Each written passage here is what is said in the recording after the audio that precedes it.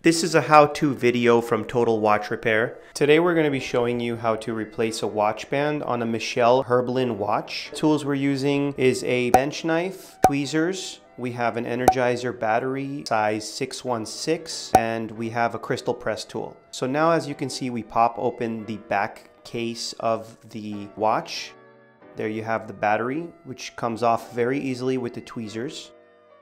Once you got the battery out, you can go ahead and take the new battery out of the new package, slide that right into the battery pocket right there inside the mechanism. Once you do that, you make sure you put the back on.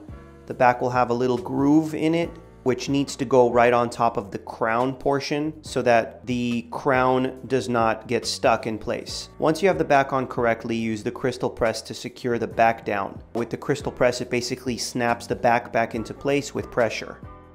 Once you do that, you can go ahead and set the time and date, and then your watch is ready to go with a new freshly battery installed. We hope you enjoyed our video. If you have any questions, please leave us any comments or suggestions.